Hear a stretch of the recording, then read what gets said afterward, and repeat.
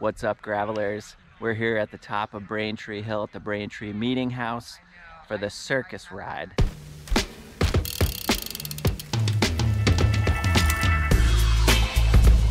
We're here at the Braintree Circus Ride this morning, hanging out with the Catamount up here at the Braintree Meeting House, getting ready for a beautiful fall ride. This time of year, in the past, they've done the 357. This year, the circus ride is bringing back a mountain bike route from the 90s that at one point was said to be one of the top 10 mountain bike routes in the country.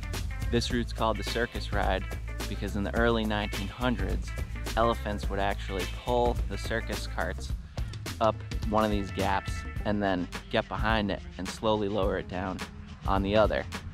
We're gonna ride part of the same route they would take. Well, there's the map I'm gonna bring it because even though I have GPS, I don't know that I fully trust GPS in this whole area. You ready? Woo! I'm ready. See you on the other side, gravelers. Have fun. Looking down the dirt road, Winterberry is easy to go right by. Look for a big metal tractor sitting on the right in the in the grass, like right there. That's the turn to Winterberry. At the metal tractor, up and over. We are getting ready for the circus ride. The bell's ringing. That's like the shotgun start. We're ready to go.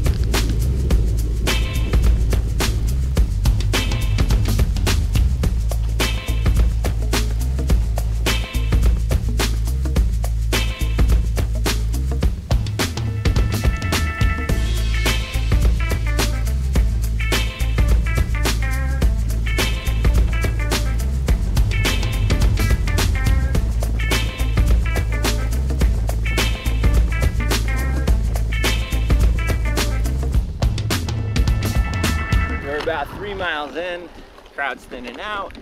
Although it was a great group start for the first time in a really long while that we were able to do that. It was awesome. Started with a pretty quick descent, a nice punchy ascent. It's kind of where the crowd thinned out a little bit. And now we're all spread all over these beautiful roads, but it's unreal. You can see, you just have the beautiful fall colors and these lush green fields. It's an overcast day, but that's kind of nice actually. So things are going really well.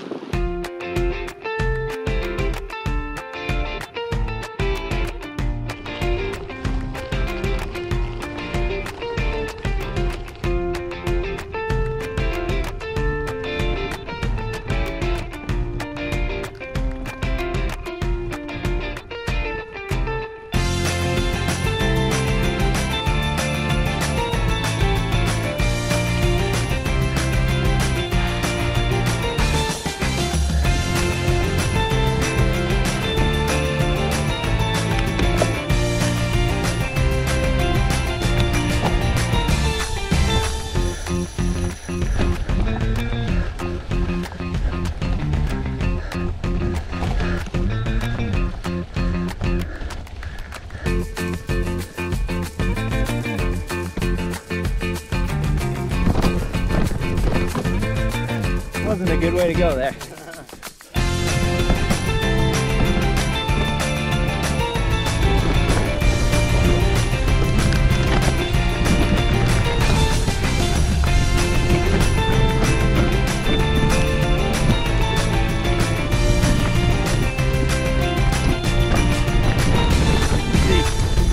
no good lines on some of this, which is pretty awesome. Just in it, in the thick of it. The word rowdy was used to describe this ride, and that's accurate. Speaking of rowdy, uh,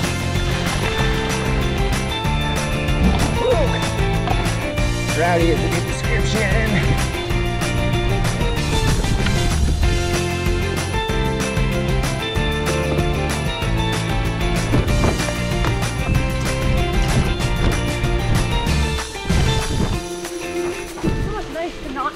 I was just thinking the same thing. If you can't see it, it can't hurt you, right? Look at that. That's nice. I'll tell people you cleaned it.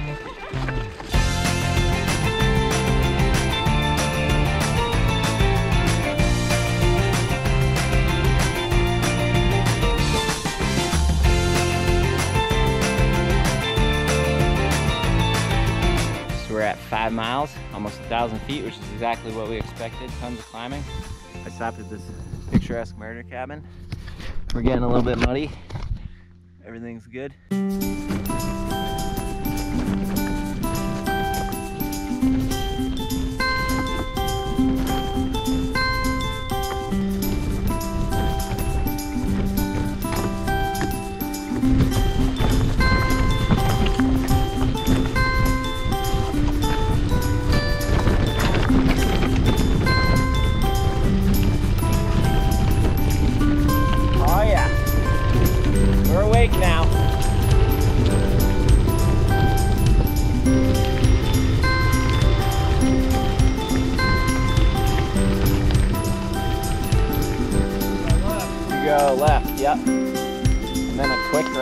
Right. Is this is this one of the ones that go there?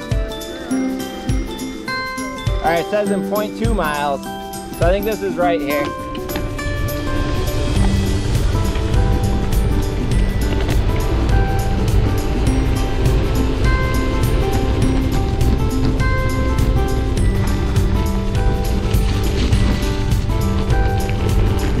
The fake right left.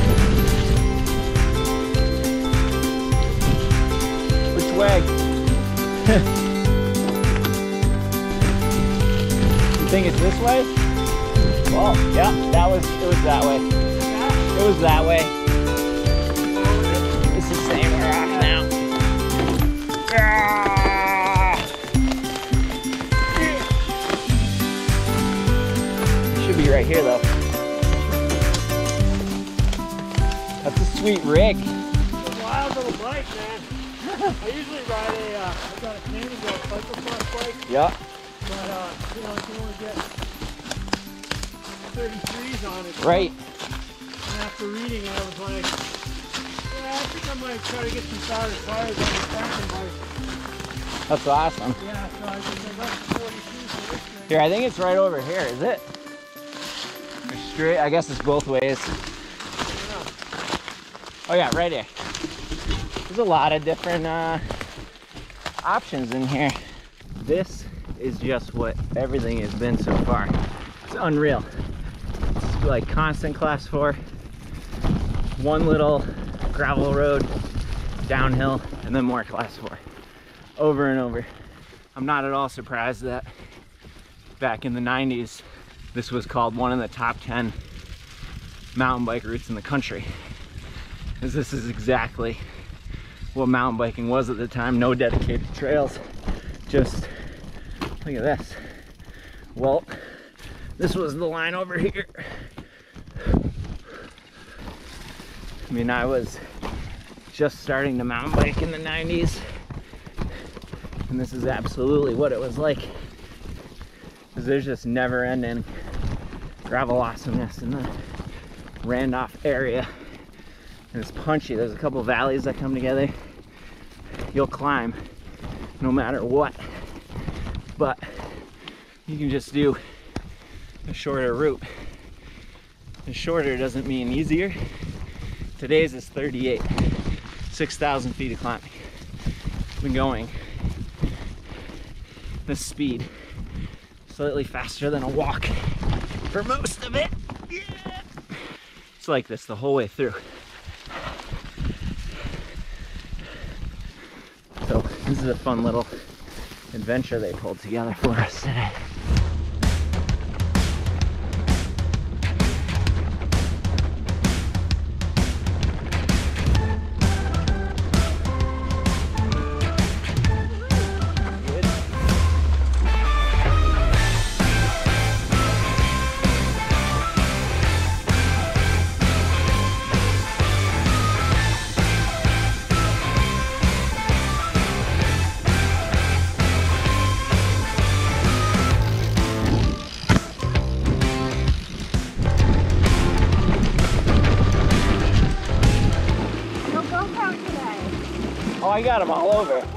Got them all over. Yeah. Oh, okay. you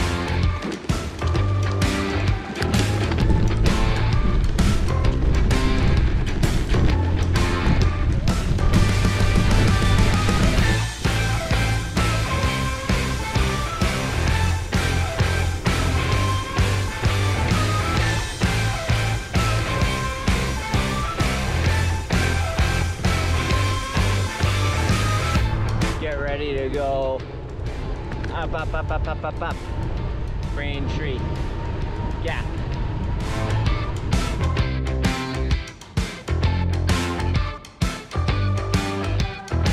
Thank you.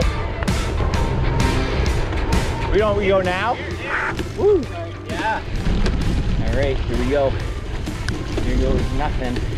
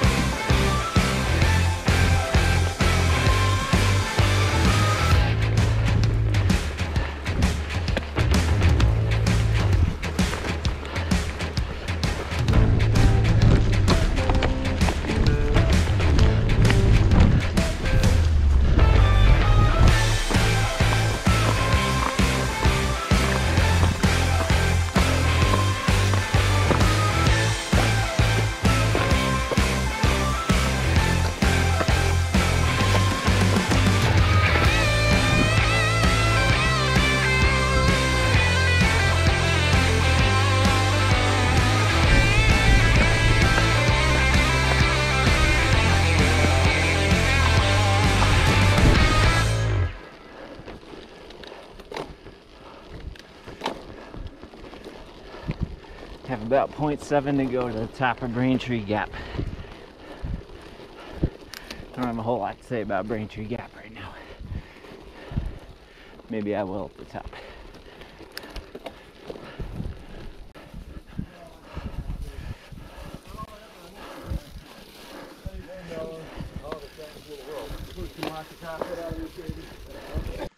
We're at the top of Braintree Gap. It's bad as always. Brutal after the descent.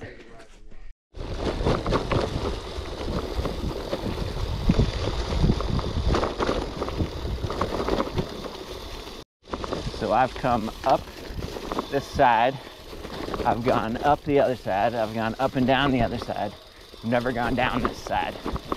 And this is chunky.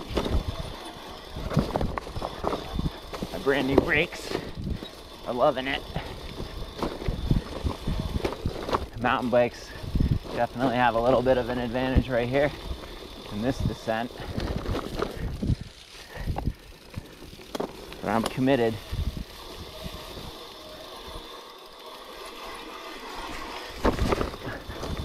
Woo! Spicy. All done with Braintree Gap. I feel like I can talk now. The descent is always chunky, but at least you're not going up that stuff. It's a mental challenge every time for me. I don't even pretend I'm gonna clean it. And then when it's done, I'm always pretty thankful. And now we're on a nice little refreshing piece of smooth gravel. And we've done about half of our climbing. And we've done a little less than half our miles. We're at almost 15 miles. Look at those views. Gorgeous out today. Peak foliage, peak fall colors, beautiful cemeteries. All around nice.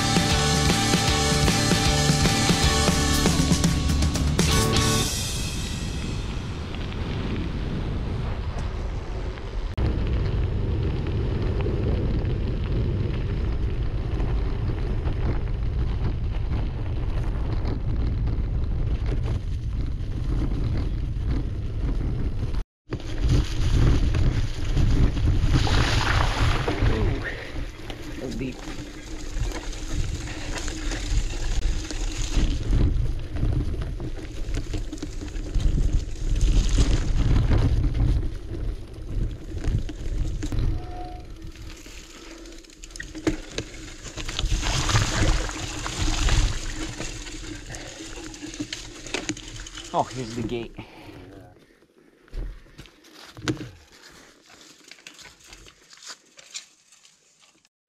Well, hey, this is absolutely no joke. This is the trail up Mount Cushman, taking us back towards Braintree and Randolph. This is after almost 4,000 feet of climbing, and this will bring us to the high point, or the last high point of the ride. This is an awesome route, but not for the faint of heart. Passing the Randolph Gap Trail, which is closed for hunting. So we just go straight up the right of way rather than messing around over there. So this is where the circus went. That's a robust circus. we're still going up. I would love to be in a circus wagon right now, getting pulled up this. And you're at mile 22 and a half or so, and at mile 25 or so, we were promised grilled PBJs. And that might just be the inspiration I need to get the rest of this thing under my belt.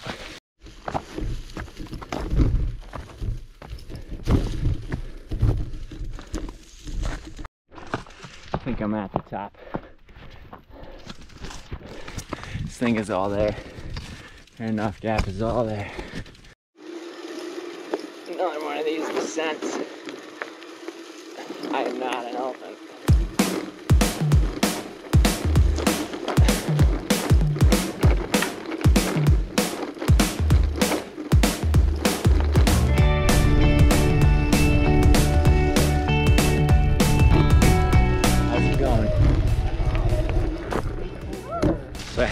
Fabulous PBJ grilled and melted. It's probably all over my face at the rest stop. Now we're right back at it immediately after. So this ride is like 95% class four or worse. So we're at about 25 miles and 4,500 feet of climbing. Ooh, ooh, ooh.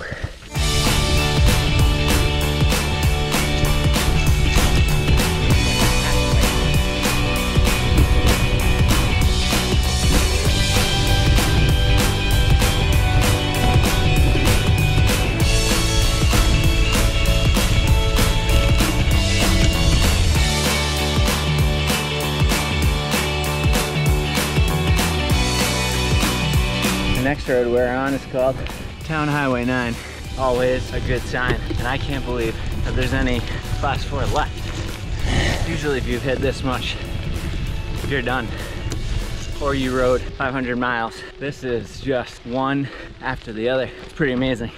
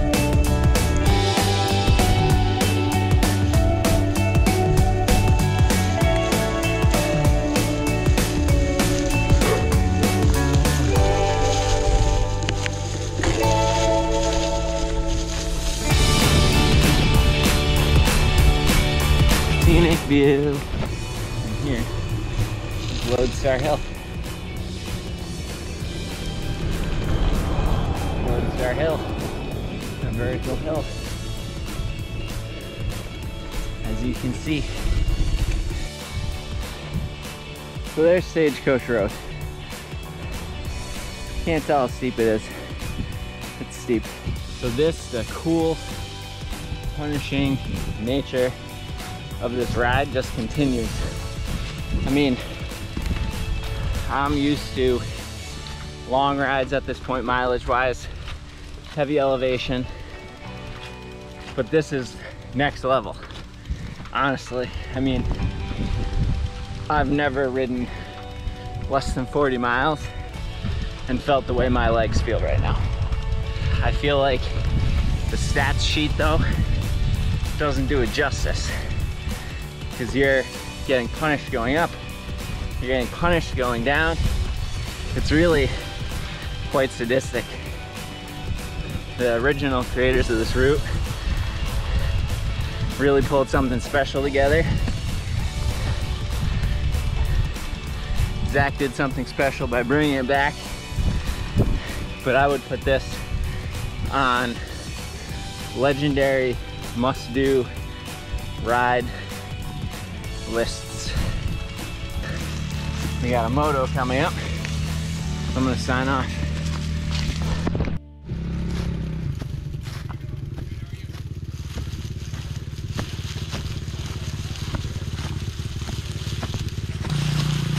We're good, we're all good. It's really nice that they have dirt bikes on course checking on you, seeing if you need anything, encouraging you, telling you you're almost there and you can do it if they need to. If you haven't picked up on it, this ride mostly goes up. And if you're going down, it's just so that you can go up.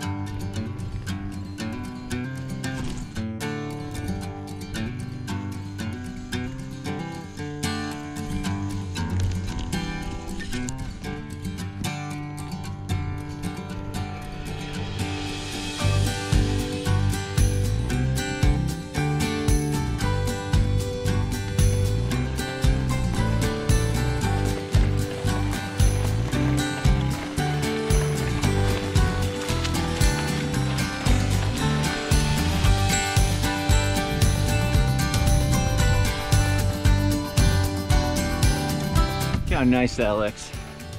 That's beautiful right there. Unreal. So we're getting pretty close.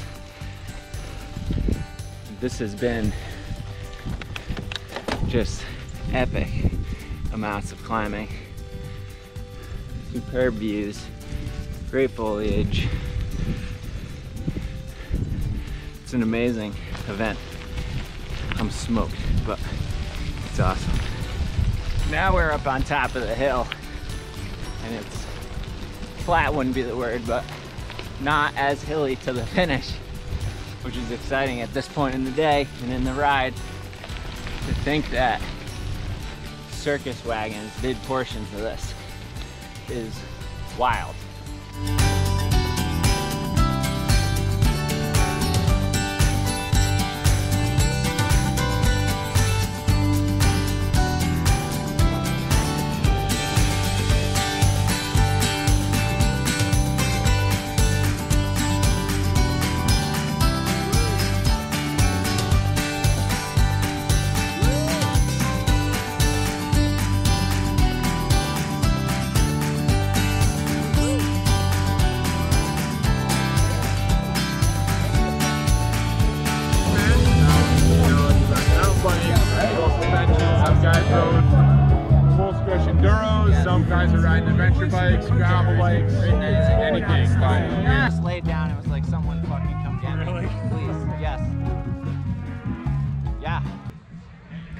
Made it to Braintree Hill. I'm drinking a delicious Bent Hill beer. Listening to some reggae, having some good food. That was by far the most elevation I've ridden in the least number of miles. Less than 40 miles, more than 6,000 feet of elevation. Completely, brutally awesome in every single way. Definitely rowdy as described. If you like this little adventure, like it, subscribe to our channel. We'll see you next time. Have a good one.